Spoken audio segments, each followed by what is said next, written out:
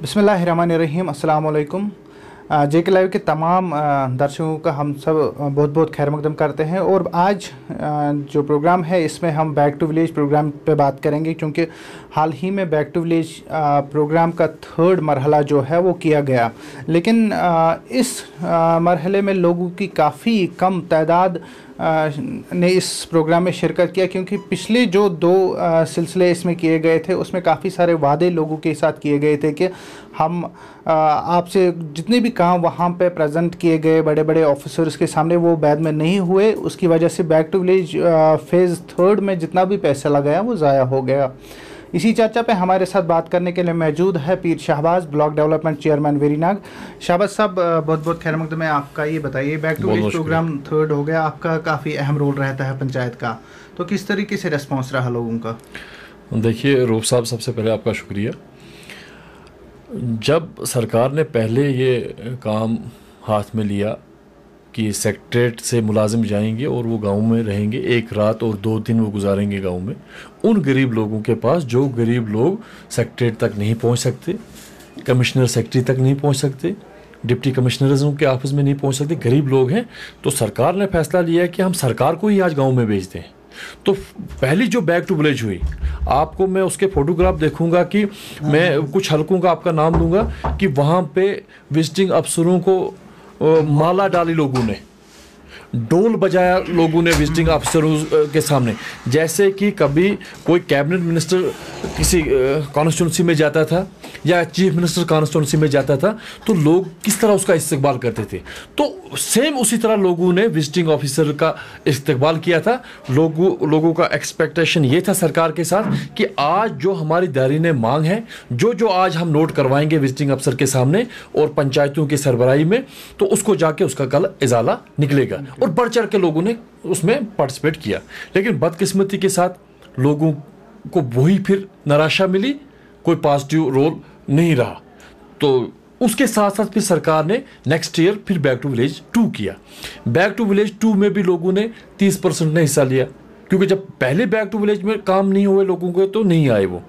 फिर अब back to village third पे अगर हम आएँगे, इसमें मैंने पहले भी अपने इंटरव्यू में कहा कि आज की जितने बैक टू विलेजेस हुई कश्मीर के अंदर, उसमें टोटल पाँच परसेंट लोगों का रोल रहा।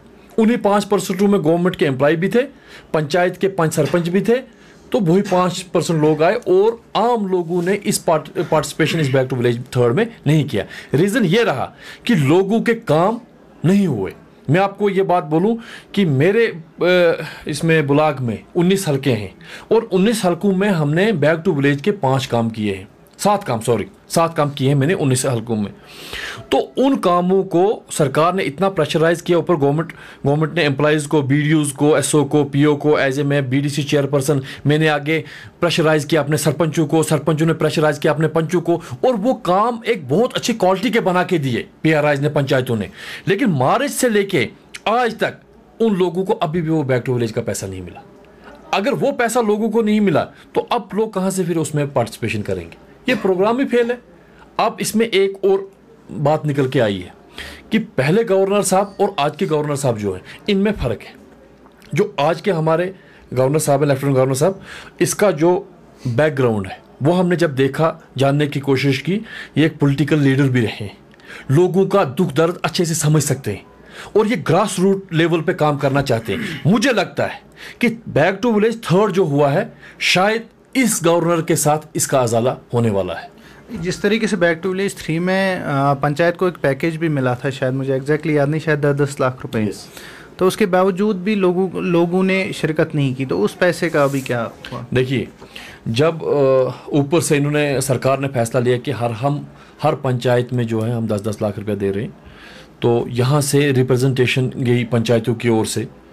बीडीसी चेयरमैन उन्होंने मीटिंग की, फिर जाके वो कमिश्नर मैडम से भी मिले, जो कमिश्नर सेक्रेटरी है, शीतल नंदा जी, उनसे भी मुलाकात की।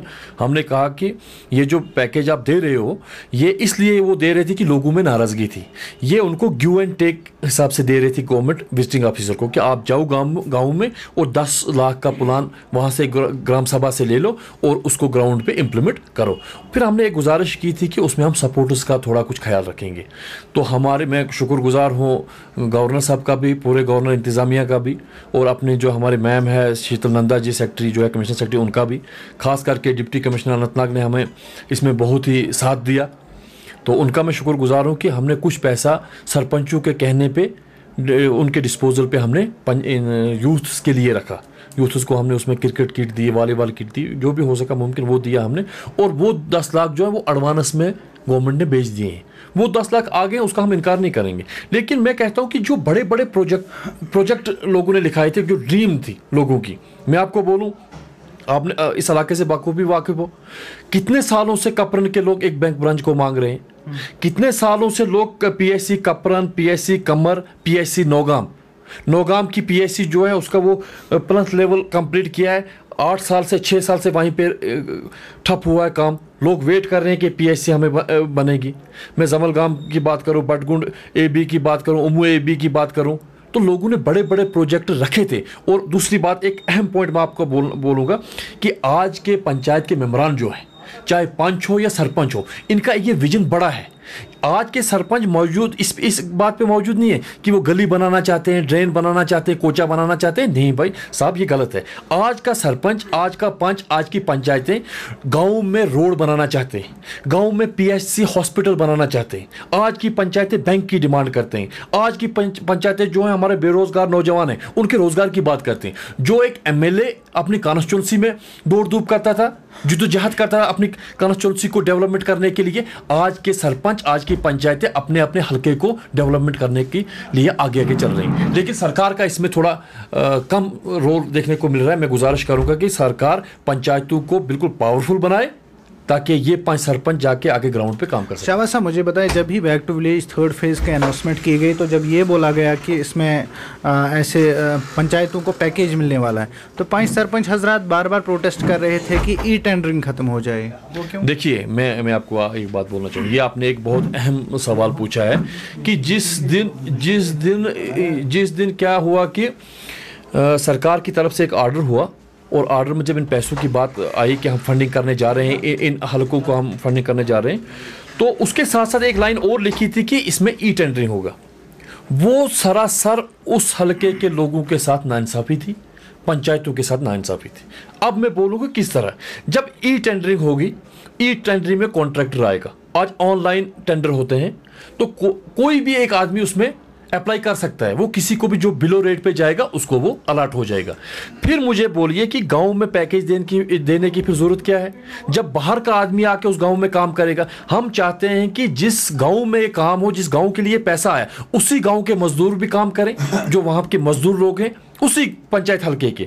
मजदूरी उन्हीं लोगों को मिलनी चाहिए या जो कारीगर हैं उसमें हमें लगाने वो उन्हीं लोगों को वो पैसा मिलना चाहिए। ये ई टेंडरिंग का जो जितना भी सिस्टम है ख़त्म होना चाहिए ये पंचायतों के अंडर रहना चाहिए। पंचायत अपने उन गाँव के लोगों को गरीब लोगों को ताकि वहीं पे डोर स्टेप पे रोज़गार दे सके। मैं यहाँ पे आपको रोकना चाहूँगा।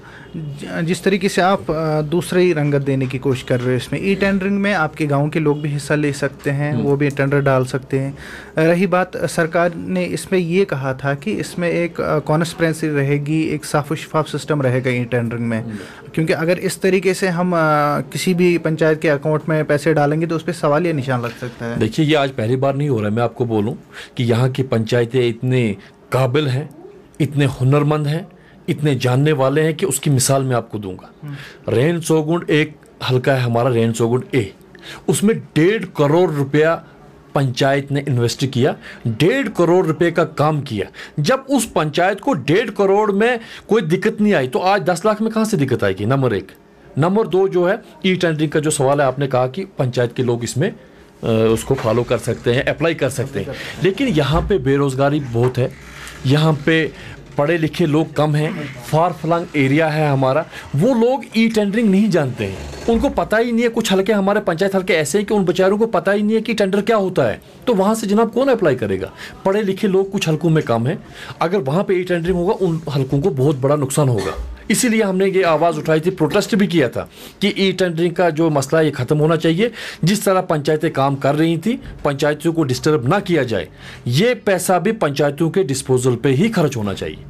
मैं मुद्दे से हट के कुछ सवाल आपसे पूछना चाहूँगा। रिसेंटली पंचायत की तरफ़ से सपोर्ट्स एक्टिविटीज़ के लिए काफ़ी सारे फंड्स वागुजार किए गए। तो किस तरीके का रिस्पॉन्ड है ग्राउंड में? देखिए मैं आपको बोलूँ बहुत ज़्यादा पैसा नहीं था। ये हर एक पंचायत को बीस हज़ार का सामान लेना था। हाँ हाँ। तो बीस हज़ार हमने हर एक पंचायत को दिया था।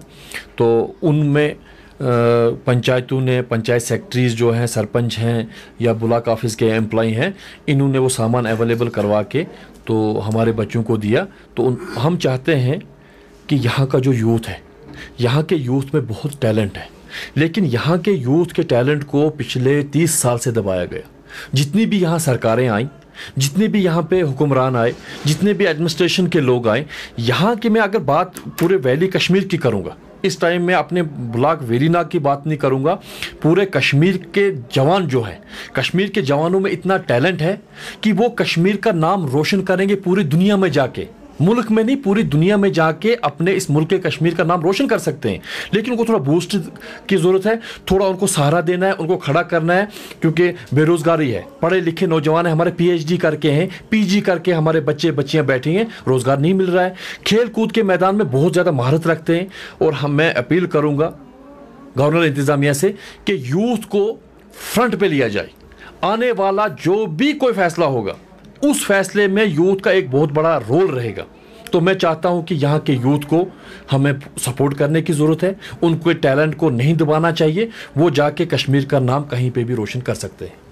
आर्टिकल 370 हटने के बाद आज पहली बार पंचायत इलेक्शन होने वाले हैं बाय इलेक्शन जहाँ जहाँ पे पंचायत की सीट खाली है।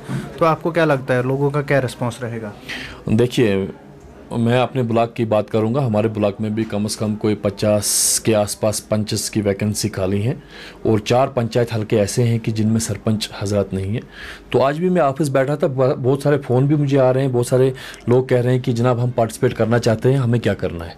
तो मुझे लगता है कि लोग ग्राउंड लेवल पर काम करना चाहते हैं अपने हल्के में, अपने हल्के की बेरोज़गारी को ख़त्म करना चाहते हैं। तो लोगों का मुझे रहेगा कि, मुझे लगता है कि इसमें पार्टिसिपेट अच्छा रहेगा लोगों का। आ, किसी प्रकार का डर कोई वैसा माहौल? नहीं देखिए डर उस आदमी को होता है जो गलत काम करेगा। हमारे पाँच सरपंच गलत काम नहीं कर रहे हैं। हमारे पाँच सरपंचों का किसी के खिलाफ कुछ नहीं है। हमारे पाँच सरपंच इतना ही करना चाहते हैं ये आपके कैमरे के वसादत से मैं कहना चाहता हूँ कि हमारे पाँच सरपंच किसी के खिलाफ नहीं है कोई गलत काम नहीं कर रहे हैं। वो इतना ही कर रहे हैं कि अपने हलके में बेरोजगारों को रोज़गार दे रहे हैं। अपने हलकों को वो पंचायत हलकों को एक मॉडल विलेज मॉडल हल्का देखना चाहते हैं रोज़गार को ख़त्म करना चाहते हैं और अपने आवाम को अपने जवानों को रोज़गार हल्के में देना चाहते हैं। बाकी इसमें कोई डर वाली बात नहीं है क्योंकि हमारे पंच सरपंच या हमारा रूरल डेवलपमेंट जो है कोई गलत काम नहीं कर रहा है। जो गलत काम नहीं करेगा उसको डर किस बात का एक आखिरी सवाल मैं आपसे पूछना चाहूँगा। आपके ब्लॉक में हालसरा नाम का एक विलेज है जो मॉडल विलेज है। 2006 में उसको मॉडल विलेज करार दिया उसका दर्जा दिया गया। लेकिन हमने भी पिछली बार उस उस पर स्टोरी की लेकिन वहाँ पे मॉडल जैसा कुछ नहीं दिखा हमें। तो अपनी लेवल पे आपने क्योंकि वो ब्लॉक पे आ, के हतूत में आता है सारा तो उस पर क्या कार्रवाई की आपने? देखिए ये तो रोफ साहब बहुत पहले की बात है।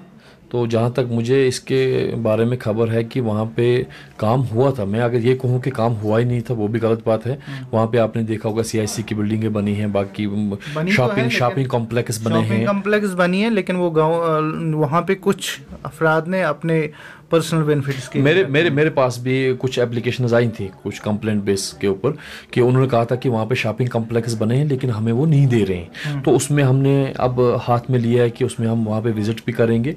तो मैंने वीडियो साहब को भी कह के रखा है कि वो वहाँ पे जाएँ। वो शॉपिंग कम्प्लेक्स देखें किसके कब्ज़े में है या बिल्डिंगों में कौन आदमी उसको वाच एंड वार्ड के लिए किसको रखा है तो वो हम अवामुल नास को वक़फ़ करेंगे। तो उनके साथ नाइंसाफ़ी हुई है, ये बेहकीकत है। बहुत बहुत शुक्रिया हमारे साथ बात करने के लिए। तो ये थे Pir Shahbaz block development chairman Verinag जो बैक टू विलेज प्रोग्राम में कम लोगों की कम शिरकत पे बात कर रहे थे।